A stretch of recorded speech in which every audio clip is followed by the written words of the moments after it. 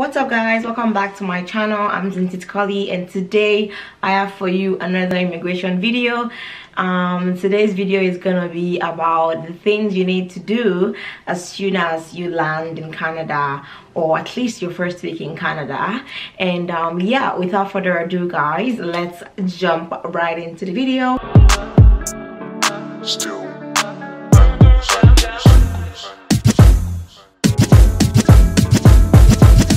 so if you've not watched my video on 10 things you should bring with you or pack with you as you're coming to Canada please go watch that because this video is gonna be following you know now you've landed and this is your first day first week first month you're enjoying Canada and these are the things you need to get. So yes if you've not watched that video go watch it and then watch this one. So yeah 10 things to do upon arriving to Canada. Number one is very, very important and that is getting your SIN number. Your SIN number stands for your social insurance number and that's a very unique identification number um, whereby it's literally only for you. Like the, that, that number is literally only for you. If someone um, finds out about that number or you share that number with another person they could literally um, fraud you and take your identity. So you need to make sure you keep that number safe. Um, but how do you get that number? You apply at service canada. So as soon as you come it could be the first day it could be the next day. You go to service canada. All you can do is just put in on google um, nearest service canada or service canada near me and that will just show up a list of um, service canada near you. I would suggest that you call before going just because of with the old covid and the pandemic they might have different hours and um, they might also have um, some things they don't do. Um, one-on-one -on -one visit they could say oh do it online or whatever. But you're going to have to call them just to know if anything actually changed in their policy. From what i know it's a nine digit number. I believe it's free. Your passport and all other required documents that they need.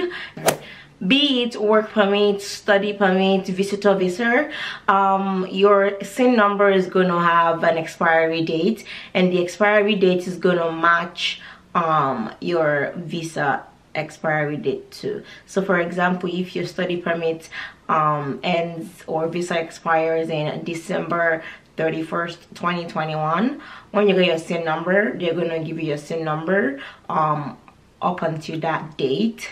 When you reapply for renewal for your study permit you should also renew your sin number. Without your sin number you cannot apply for jobs in canada. So you definitely need your sin number to apply for jobs. The second one is get your documents together. So since you're new in canada you should have a folder whereby um, you kind of have your important um, document from mine um, i know that i didn't get my physical copy of my study permit until i actually landed in canada.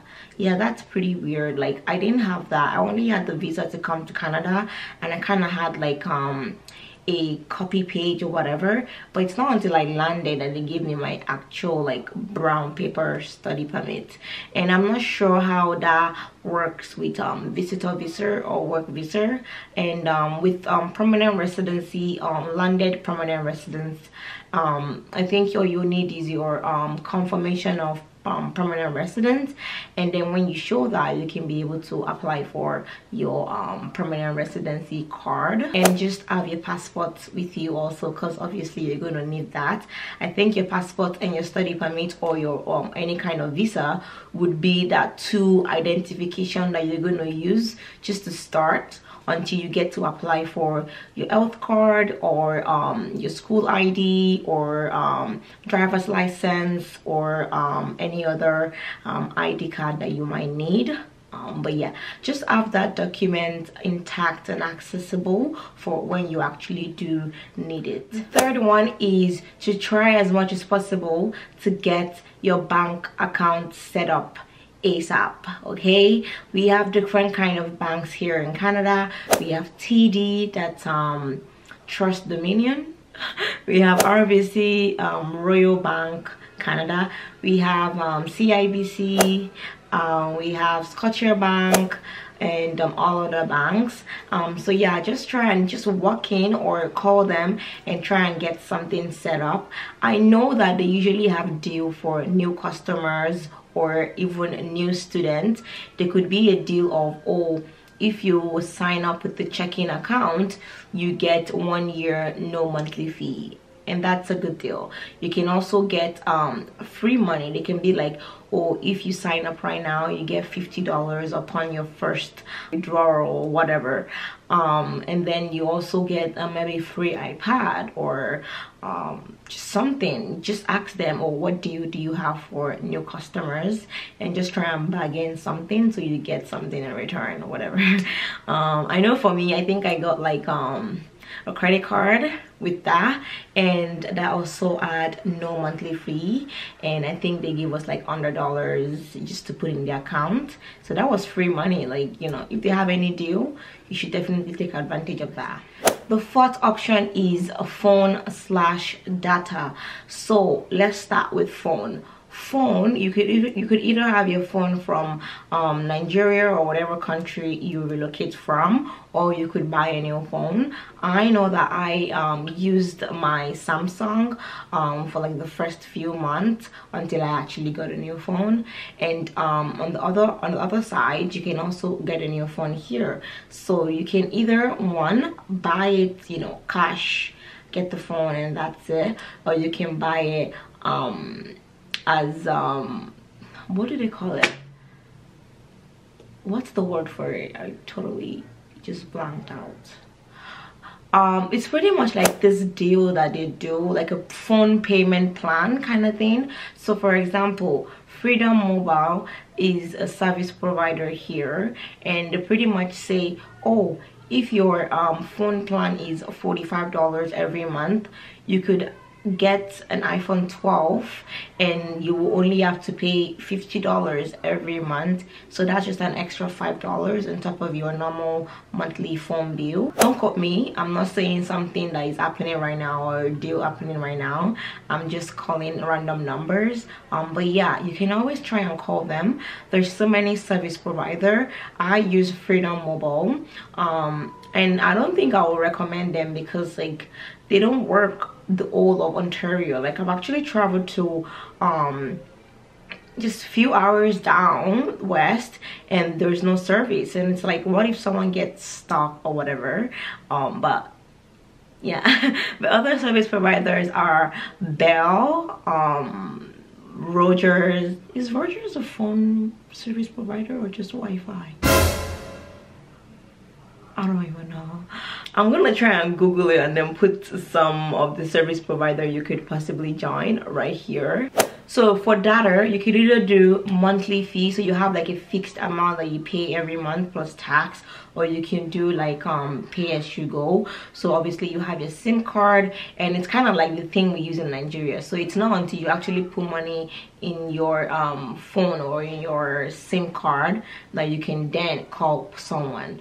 Um, but you can also do the other option which i do. So i pay like a fixed amount. So let's say i pay 50 dollars every month and then i can be able to call unlimited call unlimited text unlimited data um, and stuff like that. Um, again you're going to have to you know do a little research with the service provider and see what deal they have and also the one that is affordable for you the fifth one is housing. Housing is very tricky i'm not gonna lie. The um the good thing is that for students housing can be very very easy for them to get because um they have proof that they're starting school the next september or the next school date and um they pretty much have that. There's also student housing whereby they literally need to see that you're going to school and that's it. So that's easy for them. Let's say you're not here on like a student visa you're here for like work permit or um um landed immigrant i'm sorry landed pr um it might be tricky. So first of all what landlord usually require is um reference from your previous landlord. And if you've not lived here before obviously you don't have any landlord that you can use as your reference. But one tip is that if you had a landlord back home try and see be you know in good relationship with them and they could potentially help you out and draft out a letter just to use as a reference for you when you get here. I'm not sure how many landlords do that for like you know international landlords but it's something you can definitely give um a try. Second one um landlord usually require um credit history. So that's pretty much all the um pretty much all your all your debt all your basic and how much you spend and stuff like that. Um, sometimes landlords usually require um, credit score. So if you don't know in canada there's something called credit score. Um, you live by credit here. So pretty much they want you to um, get credit and see how best you can pay back. And then you have your credit history and your credit score. So i think um the higher your credit score the more responsible it kind of shows that oh if you um if we borrow you money you're gonna pay back. Or the landlord will see oh your credit score is good which means you're responsible which means you will try and pay your um, monthly rent in time. And they will have you know reassurance that they shouldn't have any problem with you something you can also do when you land is you can also um, maybe rent airbnb and then you know stay there for one two weeks or even a month. And that airbnb landlord which is temporary could be your reference for not your new place that you're going to be getting. And for the housing you can also buy a house. If you have the money cash down buy house buy house obviously like if you have the money i would definitely encourage you to do that. So if you don't have any housing option if you've maxed out um, all other options you could consider calling up a friend that you say oh you this girl is in canada. I knew her from high school or whatever. Let me call her to see if i can stay with her. You could either stay with family or friends. You can stay with um, someone that you know from back home your previous neighbor or something try and get in touch and see if they can let you stay with them um, for a few weeks or even days until you can be able to get back on your feet and then um, settle down peacefully in Canada sorry guys my battery died and I had to charge it so I can just end this video and go to work. I have night shift so I'm not even looking forward to that. Um yeah so the sixth option is to get your insurance. Be it dental insurance be it health insurance be it car insurance even if it's life insurance if uh, pet insurance whatever insurance you want to get you can do that. Um, what i know as a previous international student um, our school fees had the insurance combined with it. So we had the advantage of um, getting an insurance. Um, so that was pretty helpful. Um, you do have to go to school to go sign up for that. So yeah sign up for that. Even though you don't need it please use it. You paid for it literally. Like and also like for dental insurance you get to clean your teeth like twice a year. Make use of that. If you don't use it it's still just gonna be the money that you paid to the school and never used. So since you already paid for it and it's part of your insurance i would say that you should make use of that. As um a permanent resident i know that you're eligible for um OHIP, which is the Ontario Health um, card. Um, and um, I'm not sure if you have to wait like a month or how that works, but um, you can always try and research more about that just to know. And um, with card, it's free. You don't have to pay for that. As a visitor visa, I think you're going to have to buy your own insurance and pay every month. You're going to have to, you know, check in with insurance companies just to see how much their rate is and then they'll give you the numbers for um, how much to pay every month. The seventh option is transportation. As soon as you land in canada you want to figure out how you're going to get from point a to point b. Make sure you know that's part of the decision.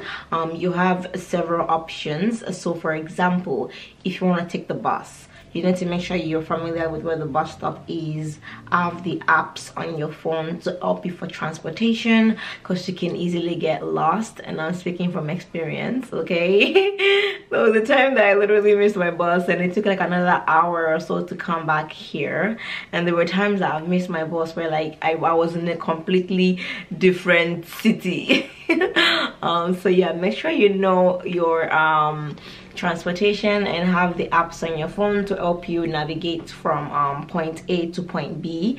Um, you can also try and buy a car if you have money. You can buy it on credit so you know have like a down payment and pay the monthly funds on that or you can buy it cash. For the car you're gonna have to um, add the cost of gas every month that is a huge factor that you need to consider you also need to consider um not even consider. You have to pay insurance okay?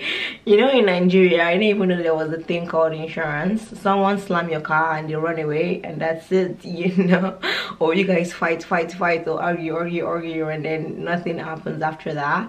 But here you pay insurance. If anything happens they will always try and um you know put in a claim and wherever wins wins. Obviously from the incident you will know. So for example let's say someone was speeding or highly intoxicated and um, they were under the influence and then they smashed your car from behind.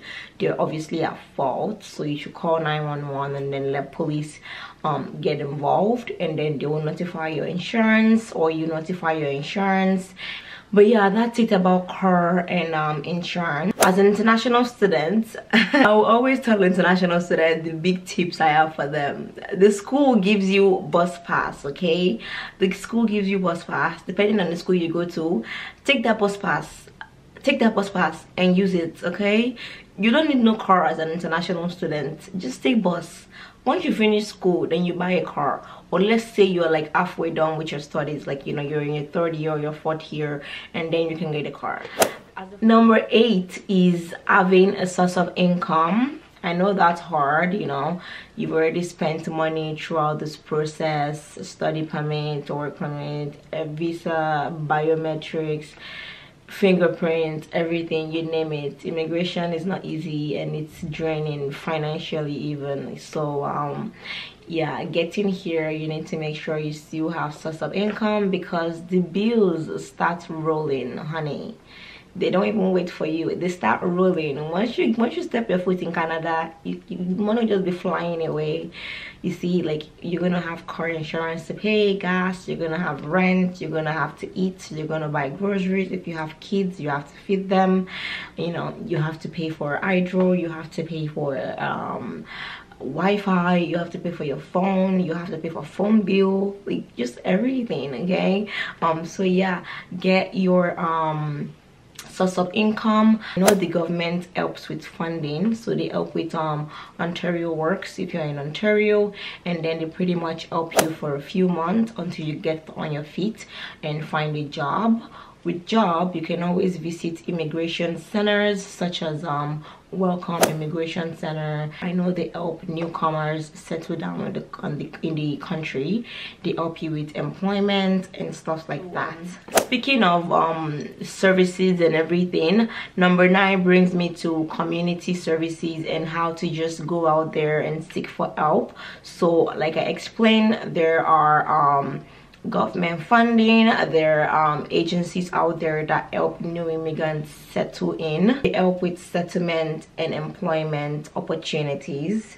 You can also go out there and look for jobs. So you can go on kijiji no, not kijiji. You can go on indeed. You can go on glassdoor. You can go on linkedin. You can you know just get your foot out there um network get help. The last but not the least is to have fun. Obviously um you come to canada upon arrival you don't want to try and put your mind up and then having to go from here to here just to try and figure out what to do or what you're not doing or stuff like that. You know take a deep breath enjoy the weather. If you have time go for a walk see your new environment enjoy canada. Call your parents. Call them video call them and be like i'm here in canada. This is my first week. This is how i feel so far.